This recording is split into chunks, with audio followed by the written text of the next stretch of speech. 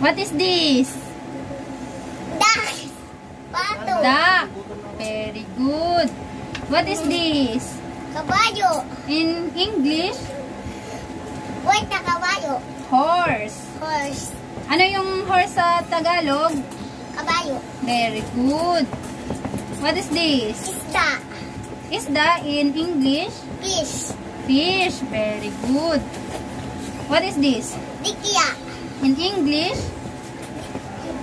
Jellyfish. Very good. What is this? Kalpati. It's not ka alak ah, kalapate? No, it's wrong. What is this?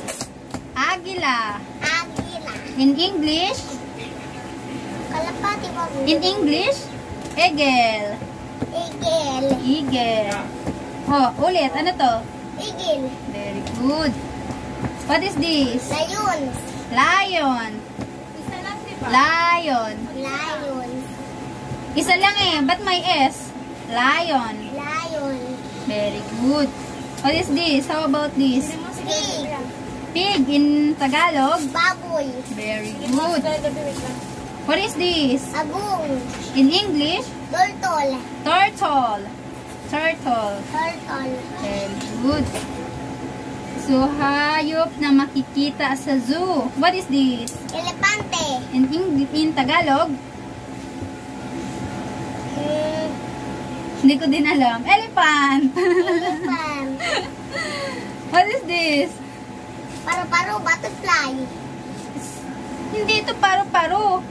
Butterfly nga. Dragonfly. Dragonfly in Tagalog is tutubi. Ano to? Tutubi. Tutubi. Dragonfly. Dragonfly. What is this? Kating. Shark. Shark. Ano yung shark? Nangangain ng? Ang tao. Ito. Bubuyog. Nanunusok. Bee. In English, bee. Bee. Bee. Ito.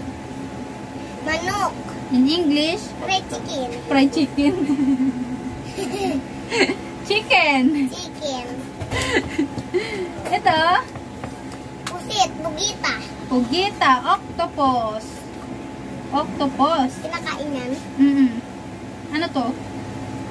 Octopus. Octopus. Giraffe. Giraffe. Very good.